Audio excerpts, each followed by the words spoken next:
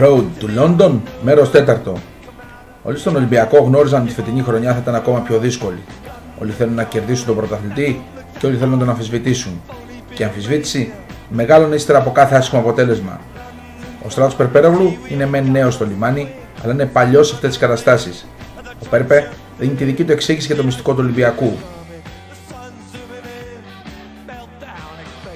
Το μυστικό είναι αυτό ακριβώς, ότι δεν το βάλαμε ποτέ κάτω. Ε, παλέψαμε με τις αντικσοότητε, με τους τραυματισμούς. Ε, σε μια χρονιά που σίγουρα υπάρχουν σκαμπανεβάσματα, δεν μπορείς να είσαι στην ίδια κατάσταση όλη τη χρονιά. Καταφέραμε να είμαστε μαχητικοί και να, να παλέψουμε μέχρι το τέλος. Ακόμα πιο νέος στο λιμάνι είναι ο Ντορόν Πέρκινς, αλλά και αυτός είναι παλιός. Πού; Στα Final Four. Πριν από δύο χρόνια με τη Μακάμπη έφτασε στον τελικό, αλλά δεν τα κατάφερε.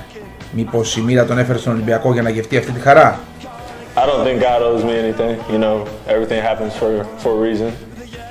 But it just gave me extra motivation to try to get back to this this point. You know, and hopefully I have another good chance to win a, a EuroLeague championship.